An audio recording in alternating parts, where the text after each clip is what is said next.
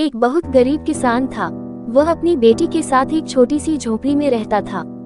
उसके पास खेती करने के लिए इतनी कम ज़मीन थी कि उसकी फ़सल को बेचकर उसे बिल्कुल थोड़े से रुपए मिलते थे। उन रुपयों से वे लोग ठीक से खाना भी नहीं खा पाते थे। वह राजा के पास अपनी समस्या लेकर गया। राजा दयालु था। उन्होंने किसान को अपनी ज़मीन में से कुछ ज़मीन दे दी खेती करने के लिए। उन्होंने कहा, यह ज़मीन तो हमारी ही रहेगी, लेकिन उस पर उगने वाली फ़सल तुम्हारी होगी। किसान ने राजा को बहुत बहुत धन्यवाद दिया। एक दिन वह खेत की जुताई कर रहा था। तभी उसका हल किसी कठोर चीज़ से टकराया। उसने वहाँ खोद कर देखा तो उसे सोने की एक ओखली मिली।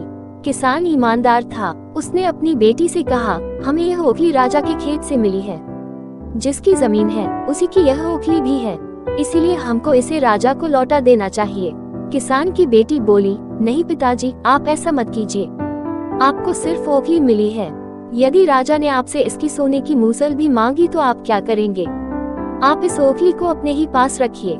लेकिन किसान को ये बात ठीक नहीं लगी। वह बोला जो चीज़ हमें मिली ही नहीं उसे मानने का कोई अधिकार नहीं है। वह राजा के पास ओखली लेकर पहुँचा, लेकिन दरबार में ठीक वैसा ही हुआ जैसा कि किसान की बेटी ने सोचा था।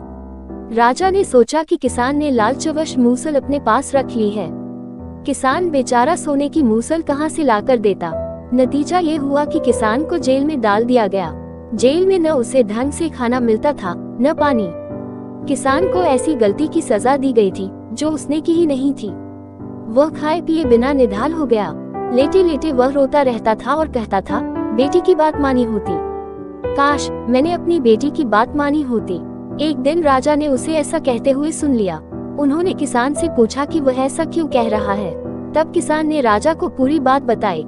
राजा को अपनी गलती का एहसास हुआ। किसान को तुरंत छोड़ दिया गया।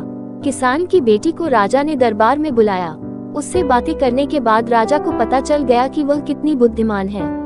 किसान की बेटी को राज्य के खजाने का मंत्री बना दिया गया।